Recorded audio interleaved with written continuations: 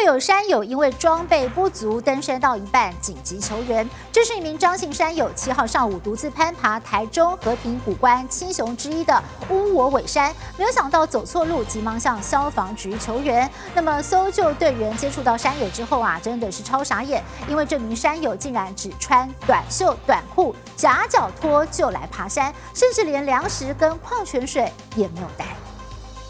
我们到三角点。四名搜救队员摸黑登上台中古关七雄之一的卧尾山，因为一名山友迷途找不到路。下次可以对。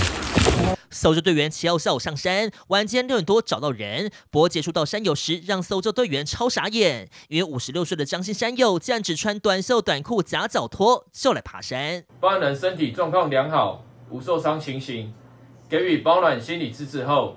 协助护送下山，并于晚上八点十分抵达登山口。幸好张西山友人平安，没有受伤，虽然只穿夹脚拖，一样健步如飞。更让搜救队员傻眼的是，除了穿着太轻便，竟然连干粮、矿泉水也没带。总长度有达到十六公里，而且它的落差有一千三百公尺以上。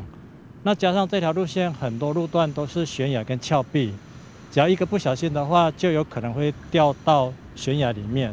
所以是非常的危险。基本的装备一定要有中大型的背包，那一定要穿登山鞋或者是雨鞋。怎么什么东西都没带？张一山有向搜救队员表示，之前常来爬山，将登山前有喝饮料、吃香蕉。原本预计单日来回，没想到过了三角点走错路迷航，才会赶紧求援。张姓山友第五股关七雄的结果，肯定让他毕生难忘。记者陈章宏、杰明，台中参谋道。